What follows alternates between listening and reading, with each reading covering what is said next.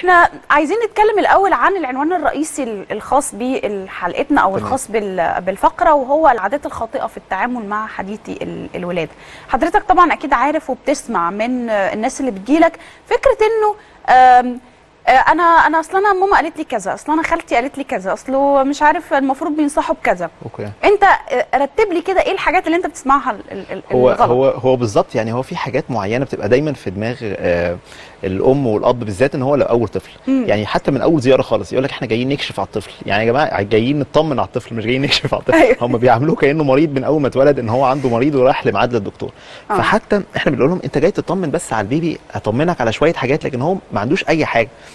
فبيبتدوا من اول خالص آه، يعني الأم مثلا بتجيلي في اليوم مثلا من اليوم السابع لليوم العاشر بتبتدي إن هي تسأل إزاي يعني هتتعامل معاه إزاي في أول مثلا ثلاث شهور مبدئيا هتتعامل معاه إزاي؟ بالذات إن هي لو أم لسه أول بيبي تجيب بنبتدي طبعا نكلمها الأول على الرضاعة الطبيعية. ودي مم. أول حاجة إن إحنا أهمية الرضاعة الطبيعية للبيبي اللي لسه مولود. مفيش حاجة خالص اسمها إن إحنا بنبتدي على لبن صناعي أو فلانة أو حد من قرايبه كان ماشي على لبن أو نوع حلو. أنا ما برضعش. في بنت في بنت تيجي تقول أنا ما برضعش. أنا مم. كل أطفالي اللي قبل كده أنا عارفة إن أنا مثلا كمية اللبن قليل.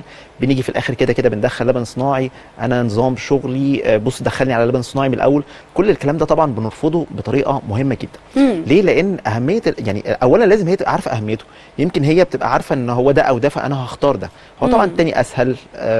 ممكن أي حد يرضعه بتبقى الحياة أسهل شوية صحيح ولكن لو هي عرفت أهميته مثلا بنقول لها مثلا حاجة بتاعت مثلا حاجة و40 حاجة و50 فايدة فساعتها يا إما بتصدع وبتمشي وتسيبني يا إما بتقول لي خلاص هرضع طبيعي مم. ف أو بتقول لك كده وبتتجاهل بت... ما أو بتعملش بتقول كده آه لأن هي بتبقى في دماغها مثلا لأ أنا حاسة برضو إن هو ما بيشبعش أصل هو آه، بيعيط ما هو. ما هو مش هيعمل حاجة غير إن هو بيعيط ما هو بيعمل إيه أيوة.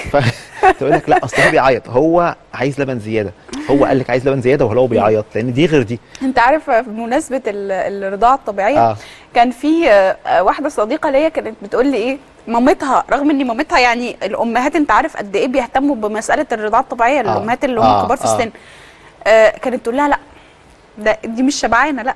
اعمل آه. لها ببرونة. آه آه اللي هو عارف اعملي لها آه. هي آه هي كانت من أنصار الببرونة. اللي هي أنا لا. لا لا ده مش دي مش شبعانة مش شبعانة. هو بيفترض إنه الطفل مش شبعان. وبالظبط هم بيقولوا إن هو أي حد يعيط اذا يبقى ده جعان جعان، خدي-. رضعيه هو مش هو مش كده خالص. يعني هو هو الفكرة كلها إن في معدلات نمو معينه يعني. هو هي تيجي تقول لك طب بص ده ده هو دلوقتي مثلا 3 كيلو ده هو دلوقتي 4 كيلو أه هو كان مولود قد إيه؟ مم. يعني هو ما جيش مثلا صحيح دي حاجة مهمة جدا برضو من العادات الخاطئة. المقارنة. اللي هو آه. يشوفوا الطفل يقول لك إيه ده هو ماله رف- رفيع كده ليه؟ آه، مش آه، ما, آه. ما بيكبرش ليه؟ ما بيتخنش ليه؟ ما أنا عايز أحط عندي مثلا في العيادة ما تبصيش للي جنبك وما تكلميش مع اللي جنبك. أيوة. لأن هي بتقول لها وده عنده قد إيه؟ فتقول لها مثلا ده عنده أربع شهور تبص لجوزها كده. أمال المسافرت اللي معانا ده ما بيكبرش ليه لا ما هو حضرتك أنت ابنك دخل حضانة وطلع من الحضانة وكان طالع. ال start بتاعه هو كان هو مولود صغير هو لما كان على الزيرو كان كيلو 700 أيوة. دلوقتي هو عنده أربع شهور فلما يبقى مثلا 5 كيلو ده إنجاز في طفل تاني مولود 4 كيلو ونص عشان كان عنده حاجة مثلا معينة. في في ألو... 4 كيلو فأكيد عند أربع شهور ده مش هيبقى 5 كيلو ده هيبقى 5 كيلو. فما تحكميش إن هو ده أكبر من ده أو ده وهما الاثنين نفس العمر هو في معدلات نمو معدلات النمو ده إحنا بنشوف كل طفل كل شهر بيزيد فيه قد إيه؟ هو average مثلا في أول ست شهور لو قلنا من 20 ل 25 جرام. بنبتدي إن إحنا نتابعه مثلا كل أسبوعين كل شهر. وأبتدي أقول لها آه الوزن زايد بطريقة مظبوطة. فخلاص هنكمل ده إزاي ده بيعيط ده ما بينامش بالليل ده كده ألو... هو مش هو بيعيط عشان حاجة تانية غير إن هو جعان. تقول لي طب هو بياخد مني. كويس ما هو مفيش حد هيعرف هو بياخد من الأم قد إيه مم. مستحيل ولا pumping ولا إن إحنا نعمل تشفيط لبن ولا الكلام ده خالص مم. هو الفكرة هو بيزيد كويس فده أكتر حاجة هتبقى ميرور لينا إن. المراية. إن هو آه، ال- النمو بتاعه ماشي كويس قوي